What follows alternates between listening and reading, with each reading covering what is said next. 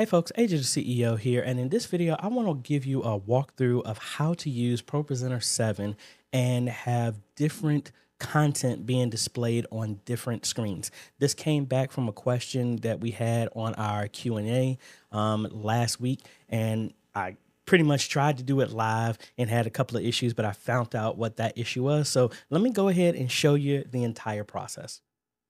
All right, so I am here on the latest version of ProPresenter 7. I have some old announcements that I had saved in here from um, Antioch. So we're going to use this as a sample. So my mistake is I had a look on here, which I need to actually remove here. So I need to remove this look, which was undoing everything I was doing. All right. So first, let's go ahead and set up the environment so y'all can see exactly what's going on. I'm gonna go here to our screens. And since I don't have physical screens to do this, I'm gonna actually just make these all over again. All right.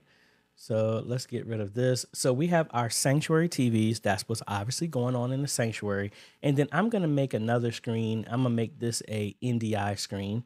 And I'm going to say 1080p 60.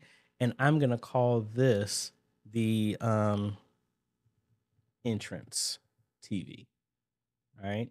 And then should we make another one? Nah, I think that's enough because the concept is still the same. All right, so we got that showing as an NDI screen. So let's go ahead and close that.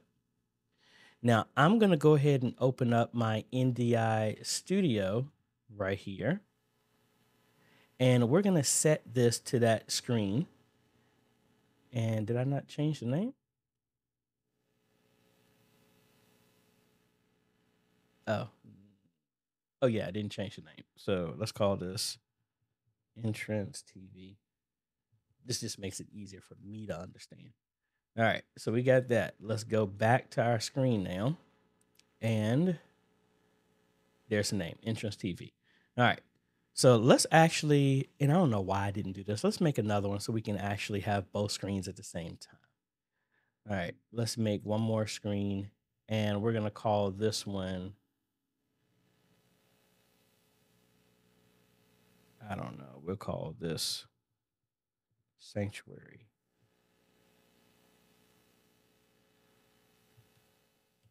TV.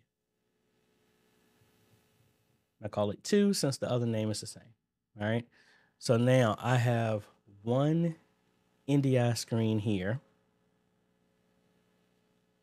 called the entrance TV. Then I have another NDI one that we're going to point to Sanctuary TV. Oh, I like how they stack these. TV2. All right. So at this point, we're going to play with our looks.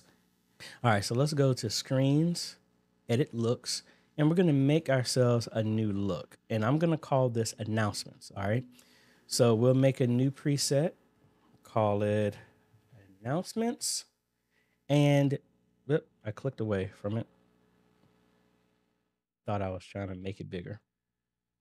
All right, so inside of here, we are now going to set the settings for what is displayed everywhere. So we have screen, and I guess that's going to be. Do I keep slipping and I not give this a name? Did I do the exact same thing? Yes, I did. Eh, my name is fine.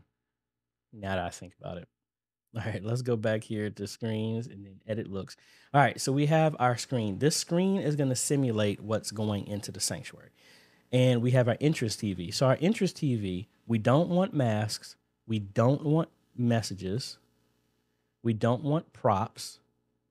We don't want slides. We don't want media. And we don't want video input but on our screen, we don't want announcements. So that means that anything presentation that we flag as an announcement is only going to be played here and not here. All right. So that's what we got. We have our look now set to announcements and we don't have any looks on our presentation. So the first thing we're going to do is go over here to our newsroom and we need to change this as our destination from presentation to announcements. All right. So now I'm going to drag this over to another screen. And if we did everything right, I'm going to bring up our announcements. So actually, let me bring up our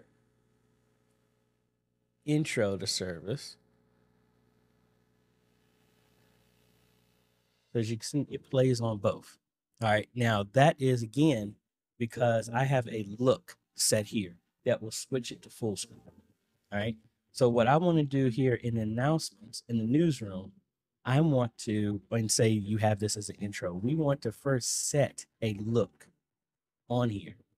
Say that our look is to switch over to the announcements. So once we click on the slide, it's going to configure the screens based off of the look that we just set. Right.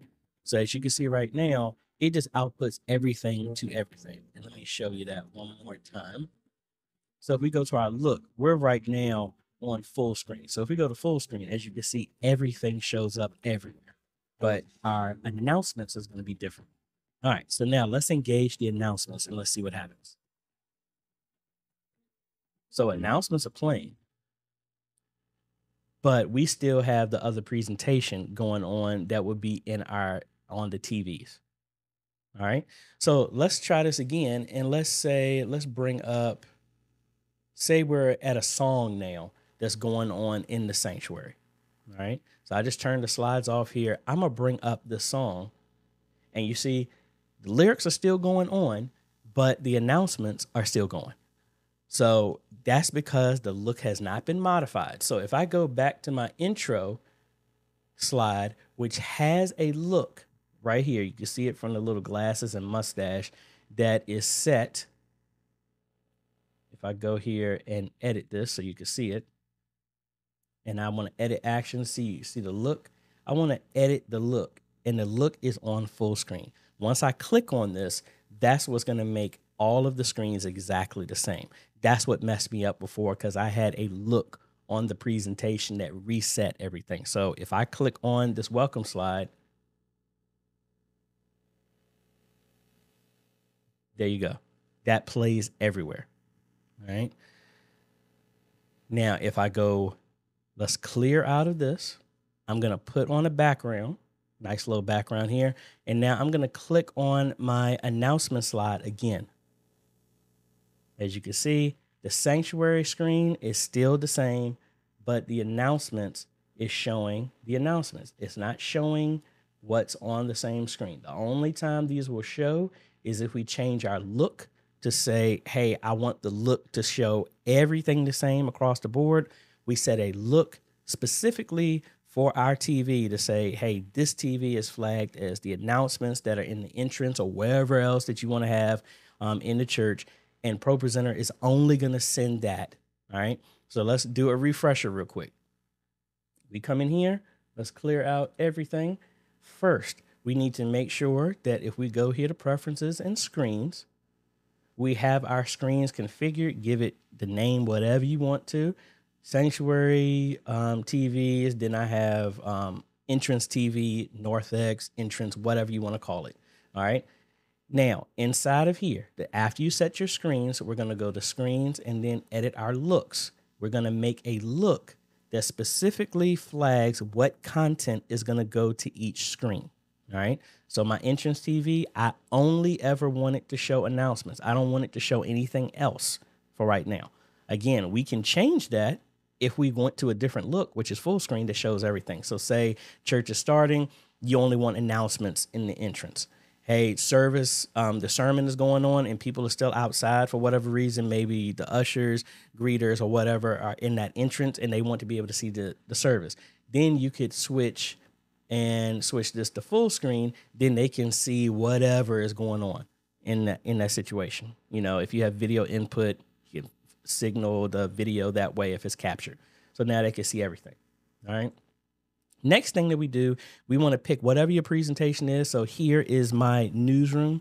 So on here, the very first slide that I do is I right click, add an action, add a look, and I let's actually remove it so I can actually do it all over again. So we're gonna come in here add an action, add a look, set the look to that announcement look or whatever the name that you called it that will show announcements on one screen and not somewhere else. Now you set your look. Now the other thing we need to do is come down to the presentation, right click on it and then set the destination. The destination is announcements instead of presentations.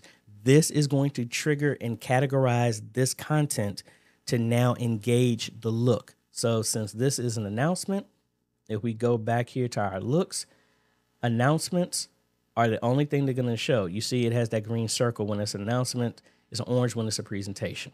All right. So now, if we come back here after we set our look as well. All right. So now let's go back to our intro, which already had a look that will make it go all the way back to full screen. So everything will show everywhere. So if we engage that, you see it showing up here. I drag this down as you can see, it shows on both screens. One is simulating the sanctuary TVs, the other one is the entrance. If we scroll down, can I get to it? And we go to the announcements. And if we engage the announcements, it has a look on it. Boom, there we go. So now we have two different things going on at the same time. So, as a refresher, let's go over it one more time.